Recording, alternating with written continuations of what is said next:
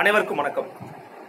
தமிழகத்தில் ஒரு நாற்பது நாட்களாக இந்த கொரோனா வந்த பிறகுமே கூட பொதுப்படையாக இருக்கக்கூடிய மக்களால் வரவேற்கப்பட்ட பெரும்பாலான எதிர்க்கட்சிகளால் வரவேற்கப்பட்ட ஒரு நல்ல விஷயம்னு சொல்லலாம். அப்படின்னா என்னன்னு கேட்டிங்கன்னா மதுக்கடைகள் திறக்காமல் இருந்தது தான் ஸோ மதுக்கடைகள் திறக்காமல் இருக்குது அதனால் மதுக்கடைகள் எல்லாம் கிட்டத்தட்ட ஒரு மதுவிலக்கு காலத்தை அமல்படுத்துகிற மாதிரி முற்று முழுதுமாக மூடிடுங்க மதுவிலக்கை அமல் செய்ய ஒரு சரியான நேரம் இயற்கையா நமக்கு கொடுத்துருக்கு அப்படின்னு பல எதிர்க்கட்சி தலைவர்கள் குறிப்பிட்டு பேசியிருந்தாங்க. குறிப்பா சொல்லணும் அப்படின்னா தமிழகத்தில் இருந்த தமிழகத்தினுடைய பாஜக தலைவர் எல் முருகன் முதற்கொண்டு தமிழகத்தின் பாமக தலைவர் அன்புமணி ராமதாஸ் மதிமுக பொதுச்செயலாளர் வைகோ அவர்கள் விடுதலை சிறுத்தைகள் கட்சி நாம் தமிழர் கட்சி இப்படின்னு பல பேர் வந்து இது ஒரு சரியான நேரம். இந்த நேரத்தை பயன்படுத்தி மதுவிலக்க முழுமையா அமல் செய்யலாம் அப்படின்னு சொல்லியிருந்தாங்க. ஆனா வருகின்ற மே ஏழாம் தேதி மதுக்கடைகள் திறக்கப்படும் அப்படின்னு தமிழக முதலமைச்சர் திரு எடப்பாடி பழனிசாமி தலைமையிலான அரசு அறிவிச்சிருக்கிறாங்க. இதற்கு என்ன காரணம் அப்படின்னு நம்ம பார்த்தோம்னா நிதி இல்லை வருவாய் இல்லை அதனால நாங்கள் திறக்கிறோம் அப்படிங்கிற ரீதியில மட்டும்தான் இதற்கான காரணத்தை சொல்ல முடியுமே தவிர மக்கள் விரும்புறாங்க மக்கள் கள்ளச்சாரத்தில் இறந்து போய்கிட்டு இருக்காங்க அப்படிங்கிற காரணத்தை இந்த நேரத்துல சொல்ல முடியாது. ஏன்னா எந்த இடத்துலயுமே அதிகப்படியான கள்ளச்சாராயம் காய்ச்சி இறந்தாங்க விஷச்சாராயம் குடிச்சு இறந்தாங்க அப்படிங்கிற செய்தி பரவல. கரோனாவால இறந்தாங்க அப்படிங்கிற செய்தி தான் பரவிக்கிட்டு இருக்கு. கோயம்பேடு மார்க்கெட் பகுதியெல்லாம் வந்து மூடப்பட்டிருக்கு. ஏன்னா கூட்டமா கூடுறாங்க அப்படின்னு சொல்லி தற்காலிகமா மூடி இருக்கிறாங்க அது இப்போ இந்த நேரத்துல மூடி இருக்கிறாங்க ஆனா டாஸ்மாக் திறந்திருக்காங்க. அதுவும் ஒரு குறிப்பிட்ட இடைவெளியோட நின்று கோப்பைகளை வாங்கி வீட்டுக்கு போய் குடிக்கலாம் அப்படிங்கிற ஒரு நல்ல முடிவை வந்து அரசு எடுத்திருக்கிறாங்க. இது என்ன மாதிரி முடிவுங்கிறத நம்ம உங்களுடைய நேர்களுடைய பார்வைக்கு விட்டுருவோம்.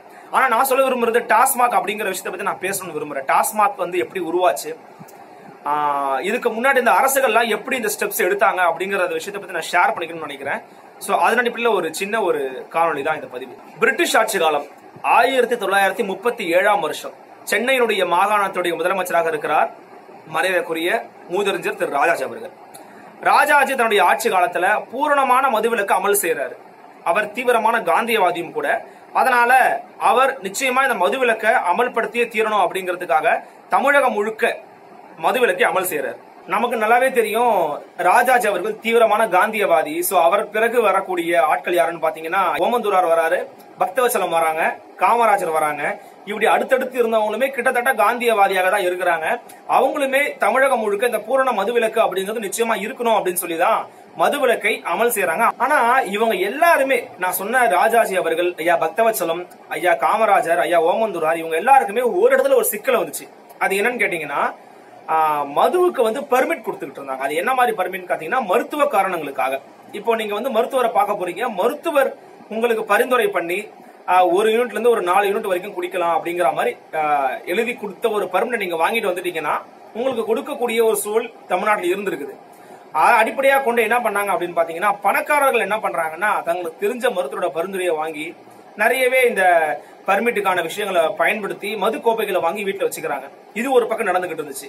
இன்னொரு பக்கம் பாத்தீங்கன்னா கள்ளச்சாராயம் விஷச்சாராயம். சோ என்ன பண்றாங்கன்னா ஒரு கள்ள சந்தையில கள்ள மார்க்கெட்ல என்ன பண்றாங்கன்னா இந்த மாதிரி கள்ளச்சாராயம் காய்ச்ச ஆரம்பிக்கிறாங்க. விஷச்சாராயம் குடிச்சு இறந்து போன மக்களுடைய எண்ணிக்கை ஒரு பக்கம் அதிகமாயிட்டே இருக்கு.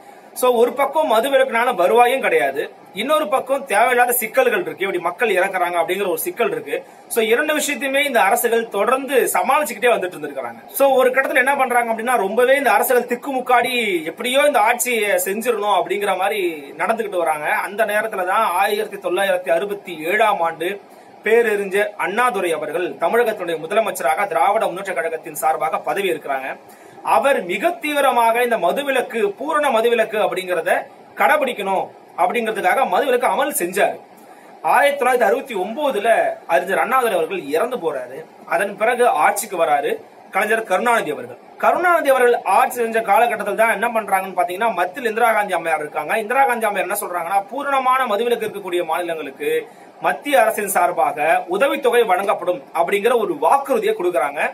உடனடியாக ஐயா கருணாநிதி அவர்கள் ஒரு கடிதம் எழுதுறாங்க. தமிழகத்திற்கு உங்களுடைய நிதியை கொடுங்க. ஏன்னா தமிழகம் பூர்ண மதுவிலக்குல தான் இருக்கிறாங்க அப்படின்னு சொல்றாங்க. அதற்கு என்ன பதில் எழுதுறாங்கன்னு பாத்தீங்கன்னா இந்திரா காந்தி அம்மையார் புதிதாக மதுவிலக்கை அமல்படுத்திய மாநிலங்களுக்கு மட்டும்தான் நாங்க நிதியை கொடுப்போம் அப்படிங்கிற மாதிரி ஒரு செக் பாயிண்ட் வைக்கிறாங்க. இங்கதான் வந்து விமர்சனம் உருவாகுது. இங்கதான் வந்து ஒரு மதுவிலக்கை உடைக்க வேண்டிய சூழல் கருணாநிதி அவர்களுக்கு உருவாகுது. ஒரு கட்டம் வரைக்கும் பொறுத்து பார்த்த கலைஞர் கருணாநிதி அவர்கள் ஆயிரத்தி தொள்ளாயிரத்தி எழுபத்தி ஓராம் ஆண்டு ஆகஸ்ட் மாசம் முப்பத்தி ஓராம் நாள் சுற்றி இருக்கக்கூடிய நெருப்பு வளையத்துக்கு மத்தியில ஒரு கற்பூரம் மட்டும் எப்படிங்க எரியாம இருக்க முடியும் அப்படிங்கிற ஒரு மொழியை சொல்லி தமிழகத்துல மதுவிலக்கை ரத்து பண்றாரு. இதுக்கு கருணாநிதி அவர்கள் சொன்ன காரணமும் இன்னைக்கு சொல்லி கேட்கக்கூடிய காரணம் தான் நிதி இல்ல நிதி போதவில்லை அப்படிங்கிற ஒரு காரணம் சொல்லிதான் இந்த மதுவிலக்கை ரத்து பண்ணிருக்கிறாரு கருணாநிதி அவர்கள். சோ மதுவிலக்கை ரத்து பண்ண சொன்ன கருணாநிதி அவர்கள் எத்தனை கடைகளை திறந்தாரு அப்படின்னு பாத்தீங்கன்னா ஏழாயிரத்தி முன்னூற்றி தொண்ணூத்தி ஐந்து கல்லு கடைகள் காலையில ஒன்பது மணிலிருந்து மாலையில ஐந்து மணி வரைக்கும் இயங்கும்னு சொல்லியிருந்தாரு. மூவாயிரத்தி ஐநூத்தி பன்னிரெண்டு சாராய கடைகள் காலை ஒன்பது மணிலிருந்து இரவு பத்து மணி வரைக்கும் இயங்கலாம் அப்படின்னு அனுமதி கொடுத்திருந்தாரு கருணாநிதி அவர்கள். அதன்படி பாத்தீங்கன்னா கல் மற்றும் சாராயத்துக்கான விலையும் நிர்ணயிக்கிறாங்க. ஒரு லிட்டர் பத்து ரூபாய் போல் நிர்ணயிக்கிறாங்க. அதன்படி தான் இது எல்லாமே விற்பனைக்கு வருது. சோ இப்படி மதுக்கடைகள் திறந்த பிறகும் வந்து போதிய நிதிகள் வந்து மத்திய அரசு கிட்ட இருந்தும் அவர் எதிர்பார்த்த நிதிகள் வரல. ஏற்கனவே பல வருஷம் எதிர்பார்த்திருக்கிறாரு. அந்த நிதிகள் எதுவும் வராம இருக்குது. அதே மாதிரி இந்த பக்கம் மதுக்கடைகள் திறந்த பிறகு ஓரளவு வருவாயும் அரசுக்கு கிடைச்சிக்கிட்டு இருந்துச்சு. இது ரெண்டுத்தையுமே விட அதிகமான எதிர்ப்பு எங்க இருந்துச்சுன்னு பாத்தீங்கன்னா எதிர்க்கட்சிகள் மத்தியிலையும் மற்றும் ஒரு சில பகுதிகளில் மக்களுமே வந்து போராட ஆரம்பிச்சாங்க. இந்த கல்லு கடைகளை மூடுங்க மதுக்கடைகளை மூடுங்கன்னு சொல்ல ஆரம்பிச்சாங்க. வேற வழி இல்லாம கலைஞர் கருணாநிதி அவர்கள் ஆயிரத்தி தொள்ளாயிரத்தி எழுபத்தி மூன்று செப்டம்பர் ஒன்ல கல்லு கடைகளையும் ஆயிரத்தி தொள்ளாயிரத்தி எழுபத்தி நாலு செப்டம்பர் ஒன்ல அனைத்து சாராய கடைகளையும் மூட சொல்லி உத்தரவிடுறாரு. அதே போல உள்நாட்டு தயாரிக்கப்படக்கூடிய இந்த விஸ்கி பிராந்தி போன்ற பொருட்களையும் தயாரிக்க கூடாது அப்படின்னு சொல்லி ஒரு அறிவிப்பையும் வெளியிடுறாரு கருணாநிதி தலைமையிலான அரசு. கலைஞர் கருணாநிதி தலைமையிலான அரசுல பூரணமான மதுவிலக்கு அமல்ல இருந்துச்சு அந்த நேரத்தில். சோ ஒரு வகையா கலைஞர் கருணாநிதி ஆட்சியில இப்ப நம்ம பார்த்த விஷயங்கள் நடந்தது. இதன் பிறகுதான் தமிழகத்துல ஆட்சி மாற்றம் நடைபெறுது. ஆயிரத்தி தொள்ளாயிரத்தி எழுபத்தி ஏழாம் ஆண்டு அண்ணா திராவிட முன்னேற்ற கழகத்தின் தலைமையிலான ஆட்சி நடைபெறுது. அதுல எம்ஜிஆர் அவர் முதலமைச்சர் ஆகிறாரு எம்ஜிஆர் அவர்களுக்கும் என்ன கொள்கைன்னு பாத்தீங்கன்னா ஏற்கனவே காங்கிரஸ் இருந்து வந்தவர் தானே. அப்புறம் தான் திமுக எல்லாம் சேர்ந்தாரு. சோ அவருக்கும் இந்த மதுவிலக்கு மேல தீவிரமான ஒரு ஆர்வம் இருந்துச்சு. தமிழகம் முழுக்க மதுவிலக்கை நானும் கண்டிப்பா தொடருவேன் அப்படிங்கிற அடிப்படையில தான் அவர் சொல்லி தமிழக மக்களினுடைய முக்கியமா பெண்களினுடைய கண்ணீரை நான் தொடப்பேன். அவங்களுடைய கண்ணீருக்கு காரணமா இருக்க மாட்டேன் அப்படின்னு சூளுரை கொடுத்துதான் வந்து ஆட்சியில் அமர்றாரு. மதுவிலக்கை தொடர்ந்து அமல்படுத்துறாரு. இவர் ரொம்ப எக்ஸ்ட்ரீமாவே போனார். என்னன்னு பாத்தீங்கன்னா இந்த மதுவிலக்கு சமயத்துல மது குடிச்சாங்க அப்படின்னா அது யாரா இருந்தாலும் சரி இன்க்ளூடிங் மினிஸ்டரா இருந்தாலும் கூட சரி முதல் முறை பிடிபட்டீங்கன்னா மூன்று ஆண்டு சிறை. இரண்டாவது முறை பிடிபட்டீங்கன்னா ஏழு ஆண்டு சிறை. மூன்றாவது முறையும் பிடிபட்டீங்கன்னா உங்களை நாடு கடத்திடுவேன் அப்படிங்கிற லெவல்ல வந்து அவர் சட்டங்கள் போட்டாரு. இது ரொம்பவே வந்து எதிர்க்கட்சியில விமர்சனமும் செய்யப்பட்டுச்சு. சோ அதுக்கெல்லாம் அசராத எம்ஜிஆர் அவர்கள் நான் வந்து அண்ணாதுரை அவர்கள் வழியிலையும் காந்தி வழியிலையும் காமராஜர் வழியிலையும் பக்தவச்சலம் வழியிலையும் ஆட்சி பண்ணக்கூடியவன். சோ நிச்சயமா இந்த மது விலக்கை நான் இப்படிதான் அமல்படுத்துவேன் இப்படிதான் ஸ்ட்ரிக்டா இருப்பேன் அப்படிங்கிற மாதிரி சொல்லிட்டு இருந்தாரு. ஒரு கட்டத்துக்கு மேல எம்ஜிஆர் அவர்களுக்கும் மத்திய அரசு வந்து போதிய நிதி கிடைக்கல. அரசிற்கும் கஜானாவுல வருவாய் இல்லாம இருந்துச்சு. வேற வழியே இல்லாம ஆயிரத்தி தொள்ளாயிரத்தி எண்பத்தி ஓராம் ஆண்டு மே ஒன்றாம் நாள் பூரண மதுவிலக்கு அப்படிங்கறதுல இருந்து விலகி கொள்றாரு எம்ஜிஆர் அவர்கள். இந்த நேரத்துல தான் எம்ஜிஆர் அவர்கள் வித்தியாசமான ஒரு முயற்சியை கையாளுறாரு. அதுதான் கல்லு கடைகளையும் சாராய கடைகளையும் ஏலம் மற்றும் டெண்டருக்கு விடலாம் அப்படிங்கிற ஒரு முயற்சியில கையாளுறாரு. சோ ஏலம் மற்றும் டெண்டர் விடும்போது என்ன ஆகுது அப்படின்னா அங்க இருக்கக்கூடிய ஏலம் எடுக்கிறவங்க டெண்டர் எடுக்கிறவங்க செய்யக்கூடிய ஒரு சில குளறுபடிகளால அரசுக்கு வர வேண்டிய வருவாய் சரியா கிடைக்காம போகுது. சோ இந்த நேரத்துல தான் அதிமுகவினுடைய பொதுச் செயலாளர் தமிழகத்தினுடைய முன்னாள் முதலமைச்சர் ஐயா எம்ஜிஆர் தலைமையில டாஸ்மாக் அதாவது தமிழ்நாடு மாநில வாணிப கழகம் அப்படின்னு உருவாக்கப்படுது. அதாவது இங்க தமிழ்நாடு மாநில வாணிப கழகம் தான் உருவாக்கப்படுது தவிர தமிழ்நாடு மது கழகம்னு உருவாக்கப்படல. ஆனா இன்னைக்கு வரைக்கும் டாஸ்மாக்னாலே மது அப்படிங்கறது மட்டும் தான் இருந்துகிட்டு இருக்குது தமிழ்நாட்டுல. சோ மாநில வாணிப கழகத்தை ஒண்ணு உருவாக்குறாரு. அந்த மாநில வாணிப கழகத்தின் கீழ் என்ன பண்றாருன்னா அனைத்து விதமான மது கடைகளையும் அனைத்து விதமான மது விற்பனையும் ஒன்றிணைக்கிறாரு. இதற்காக அவர் என்ன பண்றாருன்னா நிறுவன சட்டம் ஆயிரத்தி தொள்ளாயிரத்தி ஐம்பத்தி ஆறின் கீழே அதை உருவாக்கி தமிழ்நாடு மாநில அரசின் கீழே தான் இந்த டாஸ்மாக் இயங்கும் அப்படின்னு ஒரு அரசு நிறுவனமாக மாற்றுகிறார் எம்ஜிஆர் அவர்கள். சோ இதன் அடிப்படையில் பாத்தீங்கன்னா தனியார் வசம் இருந்த அப்புறம் ஒரு சில குறு அஹ், குறுநில மன்னர்கள் போல இருந்துகிட்டு இருந்த அந்த உள்ளூர்காரங்களுடைய முதலாளிகள்கிட்ட இருந்த இது என்ன ஆகுதுன்னா அரசின் கையில வருது. இங்கேயும் ஒரு சிக்கல் எம்ஜிஆர் அவர்களுக்கு வருது. என்னன்னு பாத்தீங்கன்னா எதிர்க்கட்சிகள் ஒரு குற்றச்சாட்டை முன் வச்சாங்க ஆளுங்கட்சிக்கு சார்பா இருக்கக்கூடிய ஆளுங்கட்சியுடைய பிரமுகர்களுக்கு மட்டும்தான் இந்த சாராயத்திற்கான ஒட்டுமொத்த விற்பனையும் வந்து கொடுக்கப்படுது. சோ அதை வந்து தடுக்கணும் அப்படிங்கிற மாதிரி சொல்லி குற்றச்சாட்டுகளை முன் வச்சா எம்ஜிஆர் அவர்கள் தலைமையிலான அரசுக்கு முன்னாடி. அதன் அடிப்படையில ஆயிரத்தி தொள்ளாயிரத்தி எண்பத்தி ஏழாம் ஜனவரி ஒன்னாம் தேதி மதுவிலக்கு அமல்படுத்துறாங்க. ஆனா அது முழுமையான மதுவிலக்கான்னு கேட்டீங்கன்னா நிச்சயமா கிடையாது. ஏன் அப்படின்னா உள்நாட்டில் தயாரிக்கப்படக்கூடிய மதுபான வகைகளுக்கு தான் தடை அப்படிங்கிற மாதிரி சொல்லியிருக்காரு. ஆனா வெளிநாட்டு மதுபான வகை தயாரிப்புக்கான ரம்மு ஓட்கா ஒயின் போன்ற விஷயங்களுக்கெல்லாம் தடை இல்ல அப்படிங்கிற மாதிரி தான் எம்ஜிஆர் தலைமையான அரசு அறிவிப்பு வெளியிட்டாங்க. சோ ஆயிரத்தி தொள்ளாயிரத்தி எண்பத்தி ஒன்பதாம் ஆண்டு கலைஞர் கருணாநிதி தலைமையிலான ஆட்சி வருது தமிழகத்துல. அந்த நேரத்துல தான் கலைஞர் அவர்கள் இந்த டாஸ்மாக ரொம்பவே லாபகரமா ஈட்ட ஆரம்பிச்சாரு. லாபகரமான விஷயமா இந்த டாஸ்மாக மாத்தினது கலைஞர் கருணாநிதி அவர்கள் தான் முக்கியமா கருணாநிதி அவர்கள் தான் மலிவு விலை மது அப்படிங்கிற ஒரு விஷயத்த தமிழ்நாட்டுல அறிமுகமே இப்ப செய்யறாரு அந்த நேரத்தில் எதிர்கட்சி தலைவராக இருந்த முன்னாள் முதலமைச்சர் ஜெயலலிதா அவர்கள் இதை கடுமையா எதிர்த்தாங்க. இதை முன்வைச்சு அவங்க வாக்குகளையும் சேகரிக்க ஆரம்பிச்சாங்க. பாத்தீங்களா? மலிவு விலையில மதுவை கொண்டு கொண்டு வந்து தமிழக மக்களை சீரழிக்கிறாங்க அப்படிங்கிற மாதிரி திமுக மேல குற்றம் சுமத்தி இவங்களும் வந்து வாக்குகளை சேகரிக்க ஆரம்பிச்சாங்க. பிறகு இதையடுத்து ஆட்சிக்கு வராங்க அம்மையா ஜெயலலிதா அவர்கள். அவங்க வந்து இந்த மலிவு விலை ம- மதுலாம் இருக்கவே கூடாது அப்படின்னு சொல்லி முழுமையா ரத்து பண்றாங்க. உள்நாட்டு மது வகைகளையும் ரத்து பண்றாங்க. ஆனா வெளிநாட்டு மது வகைகளா இருக்கக்கூடிய இந்த விஸ்கி பிராந்தி ஒயின் ஓட்கா போன்ற விஷயங்களுக்கெல்லாம் வந்து அனுமதி கொடுத்திருக்கிறாங்க. சோ அம்மையா ஜெயலலிதா அவர்கள் ஆயிரத்தி தொள்ளாயிரத்தி தொண்ணூத்தி ஓராம் ஆண்டு தமிழக அரசின் சார்பாகவே வந்து இந்த மாதிரியான மதுக்கடைகள் இந்த மாதிரியான உள்நாட்டு மதுவைகள் விற்கப்படாது அப்படிங்கிற மாதிரி ஒரு பார்ஷனான ஒரு மதுவிலக்கு அமல்படுத்தியிருக்கிறாங்க. இதன் பிறகு மீண்டும் ஆட்சிக்கு வர ஐயா கலைஞர் கருணாநிதி அவர்கள் புதுவிதமான முயற்சியை மேற்கொண்டாரு. அதுதான் நூறு எம்எல் புட்டிகள்ல மதுக்கடைகளை மதுவை விற்பது அப்படிங்கிற ஒரு விஷயத்தை கொண்டு வர்றாரு. So, ரெண்டாயிரத்தி ஒன்றுல மீண்டும் ஆட்சிக்கு வர ஜெயலலிதா அவர்கள் இந்த மது விற்பனை அப்படிங்கறத மொத்த விற்பனைக்காக மட்டுமே அரசு எடுத்துக்கிட்டு மிச்ச சில்லறை விற்பனைகளை தனியாருக்கு விட்டுறலாம் அப்படிங்கிற மாதிரி ஒரு முடிவுக்கு வராங்க. இதுலயும் அவங்களுக்கு பலவிதமான சிக்கல்கள் ஏற்படுது. இதுல இருந்து வர வேண்டிய நிதி வருவாய் சரியா வராமலும் போகுது. சோ இதனை எதிர்கொள்றதுக்கு என்ன பண்றாங்க அப்படின்னா இரண்டாயிரத்தி இரண்டு இரண்டாயிரத்தி மூன்றாம் ஆண்டுல இந்த ஏல விற்பனை முறையை மாற்றி அமைக்கலாம் அப்படிங்கிற மாதிரி முடிவுக்கு வராங்க. அதன் அடிப்படையில நல்லா சீரான வருவாய் இருக்கக்கூடிய மதுக்கடைகளை மட்டுமே நம்ம ஏலத்துக்கு எடுத்துக்கலாம் அப்படிங்கிற மாதிரி முடிவுக்கு வராங்க. அந்த முடிவையும் எடுத்துக்கிறதுக்கு வராங்க அந்த முதலாளிகள். அவங்களுக்குள்ள பேசி ஓகே நீ இதை கீழே நான் கேட்கவே மாட்டேன். நீங்க இதை பண்ணுங்க நான் அதை பண்ணிக்கவே மாட்டேன். நம்ம அடுத்த தடவை எடுத்துக்கலாம் அப்படிங்கிற மாதிரி உள்ளுக்குள்ளேயே பேசிக்கிறாங்க. இதன் காரணமாகவும் அரசுக்கு ஆஹா இவங்க நம்ம இப்படி மாத்தினா இவங்க இப்படி மாறுறாங்க. இதனாலே நமக்கு வருவாய் கம்மியாகுது அப்படிங்கிற ஒரு முடிவுக்கு வராங்க. இறுதியில சில்லறை வர்த்தகத்தையும் வேண்டாம் தனியாருக்கு விட வேண்டாம் எல்லாவற்றையுமே அரசே எடுத்துக்கிறோம்னு சொல்லி திரும்பவும் ஒட்டுமொத்தமான மது விற்பனையும் அரசு கையில் எடுத்துக்கிறாங்க. இந்த நேரத்துல தான் ஜெயலலிதா அவர்கள் முக்கியமான ஒரு திருத்த சட்டத்தை கொண்டு வராங்க.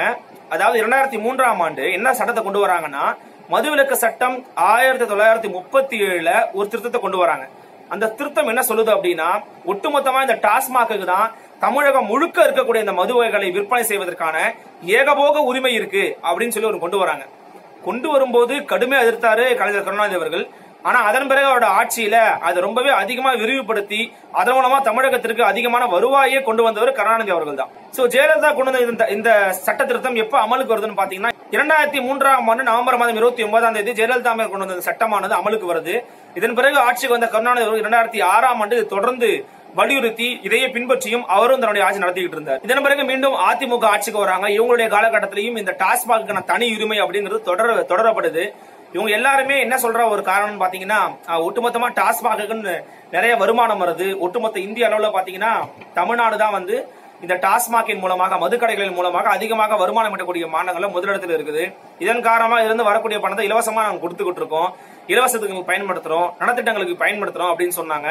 அதே போல விசச்சாராயம் குடிச்சு சாகக்கூடிய எண்ணிக்கை கள்ளச்சாராயம் குடிச்சு சாகக்கூடிய எண்ணிக்கை எல்லாம் ரொம்ப குறைஞ்சு போச்சு. பாத்தீங்களா? அப்படின்னு சொல்றாங்க. இன்னொரு பக்கம் குடிப்பவர்கள் எண்ணிக்கை அதிகமாக இருக்கு. பள்ளி மாணவர்கள் கல்லூரி மாணவர்கள் பெண்கள் அப்படின்னு எல்லா தரப்பினரும் இதை குடி மதுவுக்கு வந்து அடிமையாகக்கூடிய ஒரு சூழல் போய்கிட்டு இருக்கு. மதுவிற்கு அடிமையான ஒரு தமிழகமாகவே தமிழக மாநிலத்தை பல வல்லுநர்கள் பல இயக்க போராளிகள்லாம் வந்து சொல்ல ஆரம்பிச்சாங்க. தொடர்ந்து வலியுறுத்தவும் ஆரம்பிச்சாங்க. ஆனா அந்த வலியுறுத்தலுக்கு எந்த விதமான செவிசாய்ப்பும் அரசிடம் இருந்து இல்லை. அதே சமயம் இந்த ஏகபோக விற்பனையின் மூலமாக வந்து குற்ற செயல்களும் நடக்காமலா ஒண்ணும் இல்ல. ஏன்னா இந்த ஏகபோக விற்பனையை கொடுத்ததுனால செயல்கள் வந்து குற்ற செயல்கள் அதிகமாக மாறி இருக்கு என்னன்னு பாத்தீங்கன்னா கள்ளக்கடத்தல் பண்றது ஊழல் பண்றது அதிகமான விலைக்கு சரக்குகளை விற்பது போன்ற விஷயங்களும் பண்ணிக்கிட்டு இருந்தாங்க. இதன் மூலமா ஒரு சில கெட்ட விஷயங்களும் இந்த டாஸ்மாக் உள்ள நடந்துகிட்டு தான் இருந்துச்சு. அதே போல டாஸ்மாக் ஊழியர்களை அரசு ஊழியர்களாக மாற்றுறது போன்ற பலவிதமான சிக்கல்கள் வந்து இந்த டாஸ்மாக் உள்ள இன்னும் இருந்துகிட்டு தான் இருக்கு. டாஸ்மாக் மூலமா கிடைக்கக்கூடிய வருமானத்தை விட பொது மக்களினுடைய வாழ்கின்ற குடிமக்களுடைய அமைதிங்கிறதா ரொம்ப முக்கியம் அப்படின்னு சென்னை உயர்நீதிமன்றம் ஏற்கனவே ஒரு கருத்தை பதிவு பண்ணியிருந்தாங்க. அந்த கருத்தின் நேரத்தில் மிகவும் முக்கியமாக எண்ணப்பட வேண்டிய ஒரு கருத்தா தான் இருக்கு. இன்னைக்கு வரைக்கும் அது மான்ற அது போன்ற எந்த விதமான விமர்சனங்களையும் காது கொடுத்து கேட்காமல் அந்த விஷயத்தை எதுக்கும் கன்சிடரே பண்ணாம தான் தொடர்ந்து இந்த மதுவிலக்கு ஆஹ், வந்து அமல்படுத்த முடியாது. அமல்படுத்த சூழல் இல்ல. படிப்படியாக கூட அமல்படுத்தணும்னு சொல்லிக்கிட்டு இருந்தோம். அதை தான் இப்போதைக்கு செஞ்சு செய்ய முடியும் அப்படிங்கிற மாதிரி சொல்லி பண்ணிக்கிட்டு வராங்க. அதிமுக தலைமையிலான இன்றைய அரசு. இந்த நேரத்துல ஒண்ணுதான் ஞாபகத்துக்கு வருது. அண்ணாதுரை அவர்கள் ஆட்சி காலத்துல அவர் இரண்டு ஆண்டுகள் தான் ஆட்சி பண்ணாரு. அவர் ஆட்சி காலத்துல அவர்கிட்ட வந்து சொல்லியிருக்கிறாங்க இந்த மதுக்கடைகள்லாம் திறந்தீங்கன்னு வச்சுக்கோங்களேன் நிறைய வருவாய் வருங்க. அது மூலமா நீங்க நிறைய வருவாய் எட்டலாம் அப்படின்னு சொல்லியிருக்காங்க அதுக்கு அவர் என்ன சொல்றாருன்னா மதுவின் மூலமாக வரக்கூடிய வருமானம் இந்த நாட்டிற்கே பெருத்த அவமானம் மாதிரி தான் மதுவின் மூலமாக வரக்கூடிய வருமானத்தை வச்சு நான் மக்கள் நல்லது செய்வேன்னு சொல்றது மூட்டை பூச்சி கொட்டதுக்காக ஒட்டுமொத்த வீட்டையே கொளுத்துறதுக்கு சமம் அப்படிங்கிற மாதிரி சொல்லியிருந்தாங்க அறிஞர் அண்ணாதுரை அவர்கள். அவர்கள் வழியில் நடத்தப்படக்கூடிய ஒரு ஆட்சியாகத்தான் இன்றைக்கும் அதிமுக ஆட்சியை அதிமுக சொல்லி கொடுத்துருக்காங்க. அப்படி அண்ணாதுரை அவர்கள் வழியில தான் ஆட்சி நடத்துறீங்க அப்படின்னா அவர் வழியில நீங்க பலவிதமான மாற்று விஷயங்களையும் மாற்று இடங்கள்ல இருந்து எடுத்து அதன் மூலமா நிதியை பெருக்கிக் கொள்ளலாம். மத்திய அரசு கிட்ட இருந்து கேட்க வேண்டிய மத்திய அரசு இருந்து வர வேண்டிய நிதியை நீங்க கேட்டு பெறலாம்.